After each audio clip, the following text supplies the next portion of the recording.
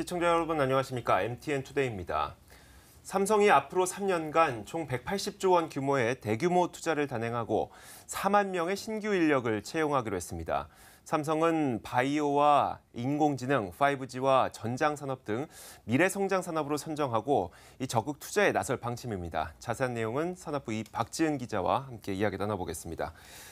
자, 3년간 총 180조 원을 투자한다고 밝혔는데 이게 금액 규모가 어느 정도 큰 겁니까?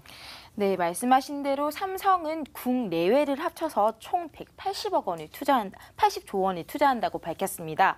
지난 2015년부터 17년까지 평균 3년간 평균 투자의 금액이 47조 원 가량이었는데요. 이를 다시 계산해 보면 140조 원이고요. 그래서 약 40조 원 정도 늘어났다고 보시면 됩니다. 특히 삼성은 180조 원 가운데 130조 원을 국내에 투자할 계획이라고 밝혔는데요. 이는 연간으로는 약 43조 원에 이르는 금 액입니다. 어, 먼저 삼성은 그 인공지능이나 5G 등에 따라 수요가 크게 늘어날 것으로 보이는 어, 반도체 부분에 투자한다는 계획입니다. 세계 최대 반도체 생산 라인이 있는 평택 등 평- 평택 등 국내 생산 거점에 집중 투자한다는 계획인데요. 또 중국의 물량 공세 등에 쫓기고 있는 디스플레이 산업에는 고부가 차별화 제품을 중심으로 투자에 나서겠다고 밝혔습니다. 이 밖에 삼성은 AI, 5G 전장 부품에도 약 25조 원 25조 원을 투자할 계획이라고 설명했습니다. 이번 투자 계획과 함께 눈에 띄었던 게 채용 규모의 계획도 발표를 했는데 어느 정도입니까? 예, 당초 삼성은 약 3년 동안 2만 명을 채용할 계획이었습니다. 현재 삼성그룹의 국내 임직원 수가 대략 20만 명 정도로 추산되는데요. 약 10%를 늘릴 계획이었습니다. 네. 근데 삼성은 여기에 최대 2만 명을 더해서 총 3년간 4만 명을 추가로 지- 직접 채용한다는 계획입니다. 거의 3년 동안 20% 가까운 인력을 지원하는 겁니다.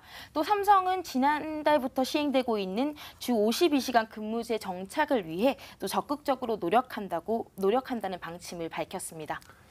이런 기업들이 어, 투자 계획과 이런 발표를 할 때 항상 요구되는 부분이 공유와 상생과 같은 이런 사회적 요구에는 또 어떻게 대응하겠냐 이거 아니겠습니까? 여기에 대해서는 뭐라고 했습니까? 네, 삼성이 다양한 방안을 내놨는데요. 먼저 삼성은 향후 5년간 취업 준비생들을 위해서 한 1만 명에게 네. 소프트웨어 교육을 실시하겠다고 밝혔습니다.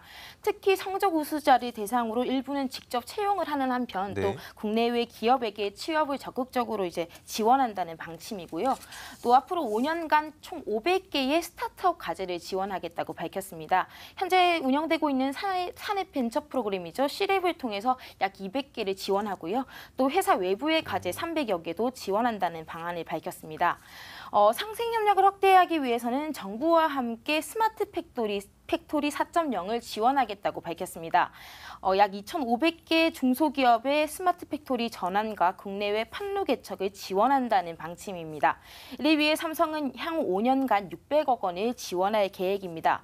이와 함께 2사 1, 2차 협력사 중심으로 운영되어 온 협력사 지원 프로그램을 3차 협력사까지 확대할 계획입니다.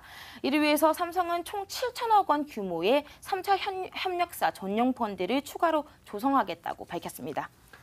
어, 이 기업이 앞으로 어디에 집중할 것인지를 우리가 가늠할 수 있는 그런 미래 성장 산업도 이번에 발표를 했죠. 네 개를 그, 제시를 했는데요. 네, 미래 성장 산업의 핵심 테마는 4차 산업혁명 선도와 삶의 질 향상입니다. 이를 바탕으로 삼성은 AI, 5G, 반도체, 그리고 반도 바이오 그리고 반도체 중심의 전장 부품 이렇게 네 개의 분야를 미래 성장 산업으로 꼽았습니다.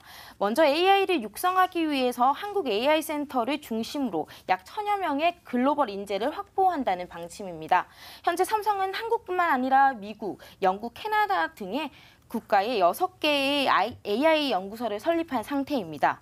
또 5G와 관련해서는 내년 3월 우리나라에서 시작되는 세계 최초 5G 상용화를 계기로 칩셋, 단말, 그리고 장비 등 전 분야에 대해서 적극적으로 투자와 혁신을 주도한다는 설명입니다.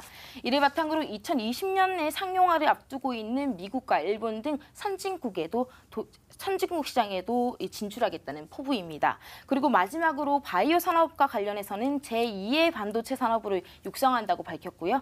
또 전장 산업과 관련해서는 자율주행 시스템 반도체 등 미래 전장 부품 기술을 선도 하겠다고 밝혔습니다. 네, 잘 들었습니다. 박지은 기자 수고하셨습니다.